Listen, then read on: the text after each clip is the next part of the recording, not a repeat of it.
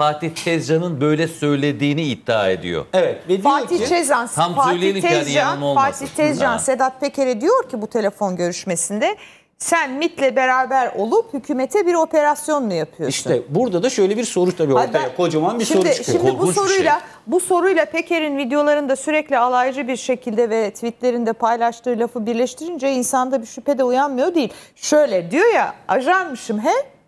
Ben ajanmışım öyle mi diyor. Ama yani orada- şimdi bu cümleyi de böyle bu cümleyle birleştirince enteresan bir şey çıkıyor. Ama şöyle bir şeye o vurgu yapıyor. Diyor ki e, bunu bilerek yapıyorlar diyor. Yani e, yani bir şekilde şunu net bir şekilde görüyoruz.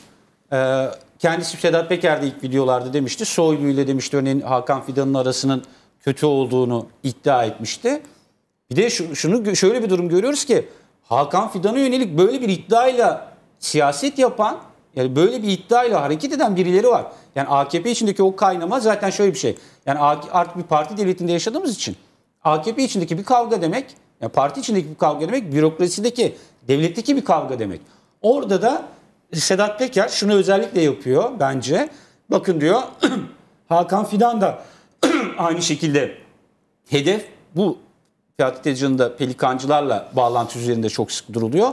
Onlar da böyle bir dizayn yapmaya çalışıyorlar diyor ve benim üzerimden diyor Hakan Fidan'ın da bana operasyon olması için böylece e, alanıma sokuyorlar. Çünkü savcıya da böyle yaptılar diyor. Benim hakkımda soruşturma yürütüyen savcının telefonlarını dinlediler ve onu harekete geçirdiler bana karşı diyor. Şimdi Hakan Fidan'a da bana karşı harekete geçirmek istiyorlar diyor. Ve şu vurguyu çok yapıyor. Sedat Peker artık belli ki yer değiştiriyor ve sürekli yer değiştiriyor. Öyle mi? Çok büyük tabii kendisini ifade ediyor. Çok uzun yollar yaptık diyor. Ee, bu da gerçekten ben de açıkçası çok ciddi bir şekilde e, hayati tehlikesi olduğunu, can güvenliğinin ciddi bir tehlikede olduğunu düşünüyorum. Çünkü bu cinayetlerde yani sınırlar yoktur yani onu öldürmek için mutlaka birileri şu an geziyordur. Ee, orada yaptığı vurguda da sürekli MIT'in kendisine operasyon yapacağı, MIT'in kendisini götüreceği yönünde kendisine bilgiler geldiğini, bundan dolayı da çok kaygılı e, göründüğünü ifade etmek gerekiyor. Aynı şekilde şunu da tabii dikkat çekmek lazım. Ben örneğin bu cinayetlerle ilgili yani Dubai'de Baronlar Savaşı kitabında anlatmıştım bunu. Ee, Bir tane uyuşturucu baronu var. Ee, Çetin Koç diye. İran asıllı bir Türk vatandaşı. Adam Türkiye'den kaçıyor, Dubai'ye yerleşiyor. Dubai'de bir gökdelende oturuyor böyle acayip güvenlikli. Yani sadece kartlarla giriliyor, kimse alınmıyor. Her taraf kameralarla izleniyor çünkü öldürüleceğini biliyor. Tehdit altında. E, Zindaşti kendi kızının öldürülmesini onu sorumlu tutuyor. Fakat o kadar enteresan ki Dubai'de bu şartlarda ve inanılmaz bir paraya sahip. Çok zengin biri. Kanada'dan iki tane tetikçi geliyor. Bir tanesi Latin asıllı, bir tanesi Hint asıllı. Yanlarında da bir Türk, bir daire kiralanıyor orada o şebeke tarafından gökdelendi. O, o kartla oraya giriyorlar ve Çetin Koç'u susturucu takımı silahlarla öldürüyorlar. Bir buçuk saat mesafedeki Abu Dhabi havalimanına gidiyorlar. İngiltere aktarmalı Kanada'ya uçuyorlar cinayetten sonra. 5 gün sonra cinayetten Latin Amerika kökenli Kanadalı öldürülüyor. Cesedi yaban mersin tarlasında bulunuyor. 15 gün sonra da Hint asıllı tetikçi yanmış bir arabanın içinde bulunuyor. Yani bunlar böyle suç örgütleri. Yani iz bile bırakmazlar ve Sedat Peker de Sırp, Arnavut ve Rus mafyasından kendisini öldürülmesi için Açıkladı. kişilerin Talimatlar getirildiğini iddia iddia ediyor. etti. Buna dikkat çekiyor. Sıradan bir seçmen bu kadar karmaşık bir dünyayı anlayabilir mi ya? Yani ben şimdi Vallahi yani hani beynim yanıyor resmen. Yani Timur burada anlatıyor, Murat orada anlatıyor. Öyle olmuş, böyle olmuş. Oradan imar şeyi gelmiş. İşte efendim aradaki fark şu kadar liraymış. Yani bir iddianameyi okuyup anlamak bile işte Sayıştay raporu okumaktan gözleri aktı artık bu adamın. Yani o raporları okuyup anlamak, oradaki gerçeklere ulaşmak bile bunca zorken Sıradan bir seçmen her gün işte bir işine işi var ona gidiyor. Belki en büyük zevki bir tane bir dizi seyretmektir.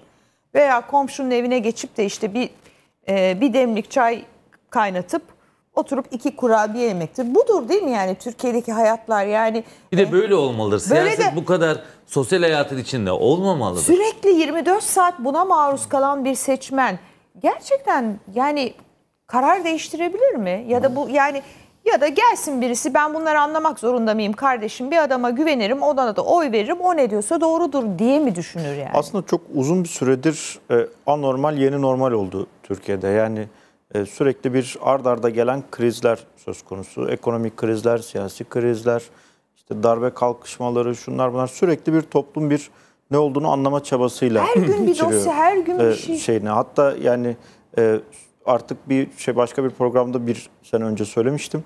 Sürekli tansiyon yükselip düşmesinden toplum tansiyon hastası olacak e, eğer böyle bu tempo devam ederse. Şimdi Peker meselesinde e, bir kere ölçümler bize şeyi gösteriyor. E, geçtiğimiz hafta itibariyle ki yenisini yapıyoruz onu da paylaşırız sizinle. Yaklaşık %64'ü doğrudan izlediğini ifade ediyor şey bu videoları. Toplumun %64'ü doğrudan izlemiş. Evet. Zaten milyon %64'ü izlenmeler de onu izlediğini gösteriyor. e, ifade ediyor. E, %55'i de e, anlattıklarının gerçek veya gerçeğe yakın olduğuna inandığını e, ifade ediyor. Şimdi dolayısıyla şöyle e, bir e, önemli bir sayıda kitleyi etkilediğiyle yüzleşmek lazım. Birinci tarafı bu. Bunlar AKP seçmeni de olan bir kitle. Tabii. Ona da Bir ulaşıyor. de e, videoları izlediğinizde siz televizyoncu olarak ya da gazeteci olarak benden çok daha hakimsiniz bu konuya. Videoları izlediğinizde rutin bir anlatım yok. Bir inişli çıkışlı bir anlatım var. Yani, Teatral bir performans var neredeyse evet, yani. e, Evet, bunlar da muhtemelen ekstra yakalıyor. Ama bence ana unsur yani burayı e, bu kadar izlenmesinin ana unsuru şu. Peker'in anlattıklarında sürekli olarak e, dayandırdığı bir yer var. Bütün bunların hepsini beraber yaptık. Ben şimdi anlatıyorum. Dolayısıyla hani neden bir suç örgütü liderinin söylediğini ciddiye alıyorsunuz sorusu söz konusu ya. Toplum e, haklı olarak alma ihtiyacı hissediyor. Çünkü anlatım şöyle. Bütün bunların hepsini beraber yaptık. Bakın ben şimdi size anlatayım. Bu dünyanın her yerinde izlenir. Bu dünyanın her yerinde ciddiye alınır ve büyük oranda da e, gerçek olarak da Yargı süreci içinde en değerli tanıktır zaten böyle değil mi? Yani en Tabii, değerli tabii, tanık. tabii. Yani e, ortak işlediğini anlatıyor. Yani son videoda da ben de izlediğimde onu şey yapıyordu. Öte yandan e, yani bir seçmen kategorisi ya da işte sosyoloji açısından bakar isek yaşamın herhangi bir aşamasında Sedat Peker profili olmayan çok sayıda seçmen grubu pazar sabahı hangi saatte uyanacağını tartışır halde e, hanelerden e, şeyler yükseliyor. E, işte Sedat Peker sesleri yükseliyor ve e, benim de içinde bulunduğum daha muhalif mahallede, daha işte demokrat, özgürlükçü mahallede dahi WhatsApp gruplarını çok ciddi oranda paylaşıldığında e, belirtmek gerekiyor. Yani akıl almaz bir şey gerçekten.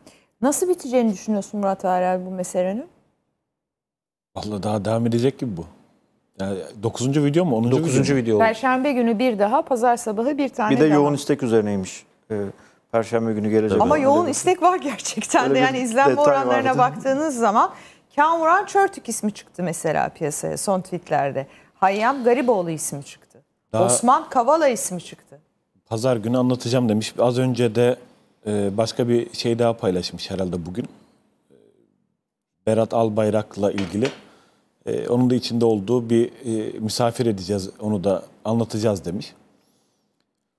Ya bununla ilgili e, tabii ki iddia edilenler ve e, buna karşı davalar açılmazsa işte az önce bahsettik yargının e, sessizliği e, ve sanki gizli kapaklıymış gibi görmemezlikten gelme insanların daha çok ilgisini çekiyor ve oraya yönlendiriyor ve Sen aradın mı bu iddialardaki isimleri? Mesela Metin Külünk'e ulaşmayı denedin mi? Veya ulaşamadım. Ulaşamadım. E, Birçok ismi e, ya şöyle açıkça bir şey daha söylemek gerekirse o kadar çok dosya var ki zaten ulaşmaya çalıştım. Hani isimler ulaşmaya çalışıyorum, o dosyaları bitirmeye ve halka halka e, aksettirmeye çalışıyorum onları. E, bu dosyalarla da ilgili zaten e, Tümür abi çok güzel çalışmalar yapıyor. Ben de onu takip ediyorum. Çok gazeteciler iyi bir sınav veriyorlar. Biz, bizden ziyade yani çok Birçok sayıda arkadaşımız zaten, tabii. Yani Ali Can Uludağ'sı var. Sürekli Hakkı olarak Özdal'ı yazıyorlar, Var. Yani evet. Çok güzel analiz ediyor. Yani bir gazeteciler iyi bir sınav veriyorlar bu konuda aslında. Evet. Ama zaten belirli kişiler ama. Evet yani o gazeteci Yani grubu bir elin parmağını söylüyorum. geçmeyecek kişiler. Mücadele ediyoruz aslında. Ya bu videoların şuna ulaşmasını istiyorum ben. Ee, İtalya'daki bir süreci tetikleyebilir mi? Bu noktada bir halk Temiz desteği... toplum yani temiz toplum. Temiz toplum e, dediğimiz siyaset. noktada e, ya İtalya'daki süreç nasıl olmuştu? Mafya savcıları ele geçiriyordu, yargıçları ele geçiriyordu. Dize getiremediği Cumhuriyet savcılarına suikast düzenliyordu, hakimleri, siyasetçileri. Böyle bir e, süreç vardı. Medya korkudan hiçbir yere giremiyordu. Ancak bu sürecin içerisinde bir Cumhuriyet savcısı e, bir ön aldı Napoli'de. Ondan sonra bu süreç ülkeye yayıldı. Milletin artık gına gelmişti. Orada da yani sonuçta insan şeyinden bahsediyoruz. Ama siyasi iradenin de desteğiyle. Siyasi irade orada işte burada belki siyasi iklimin değişmesine ihtiyaç var. O Cumhuriyet savcılarının arkasında durdu, yargıçların arkasında durdu. Önünü açtı milletvekilleri. Halk e, e, halk bu noktada müthiş yürüyüşler yaptı, mitingler yaptı. Temiz toplum dedi. Bir yere kadar getirdi. Bitti diyemeyiz. Ben mesela Roma'da o savcının evine gittim mesela. E, ele geçirilen mafya babaların evlerinin e, mafya babaları tarafından öldürülmüş babaların evlatlarına e, okumak üzere tahsis edildiğini onların gelirlerinin böyle e, şeyler gördüm yani güzellikler gördüm yani o kara para o mafya tarafından öldürülen babaların e, ya da annelerin ailelerin çocuklarına gelirleri tahsis edildiğini gördüm. E, bu, acaba diyorum bu ülkede de bu süreçleri ya- yaşatabilir miyiz? Yani bu bu sızıntılar, bu hareketler, bu şeyler Türkiye'de çünkü bunlar boş değil görüyoruz. Nereden boş olmadığını anlıyoruz. Aslında bir yerde spontane ben hiç böyle şey e, düşüncesinde değilim işte CIA, Mossad buna çok katılmıyorum açıkçası. Ben şöyle düşünüyorum. Birinci videodan itibaren de izliyorum. Şunu görüyorum. İlk başta son derece sınırlı tuttu aslında. İşte Soylu'yu tuttu, ağır dedi e, ve o e, Pelikan dedi işte aslında orada tutmak istedi. Fakat AK Parti kenetlenip de